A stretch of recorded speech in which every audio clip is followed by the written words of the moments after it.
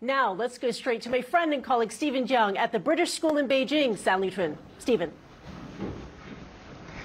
Thanks, Kristie. I am here uh, in one of the city's leading international schools. They have a very diverse student population, these 10, 11 old uh, students coming from some 15 different countries. But for most of them, there seems to be one thing in common, that is they are uh, city kids, but already they're learning even in sprawling metropolises like Beijing.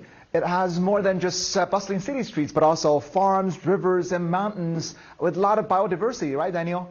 This is, uh, what is this? Uh, so this is a map of Beijing now, and we have been making imagination for drawing some uh, wildlife corridors such as bridges and tunnels for connecting the connecting the edge of Beijing, which is the mountains, to the center of the Beijing, making it more biodiverse and for the animals to travel more safely. Yeah, that looks really great. You know, for these kids, it's really not much of a debate when it comes to climate challenges because for many of them, they've already experienced the negative impact of climate change, like flooding in a historically dry city like Beijing. And I think they're trying to show it here, right? Sora, what is this?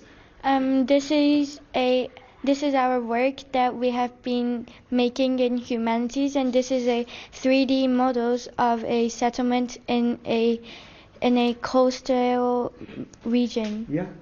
As you can see, the city is very prone to flooding since it has not developed any flood defenses. Right, and I think uh, he was trying to flood it as we uh, as we are live on air. But you know, these kids are not just focusing on the present, but the future, uh, using the latest technologies, trying to uh, really find potential solutions. Right, Sunny? Uh, yes. So what is this? We wrote reports about what we think the city in the future would be like. Also, we used AI technology to help visualize the city in the future.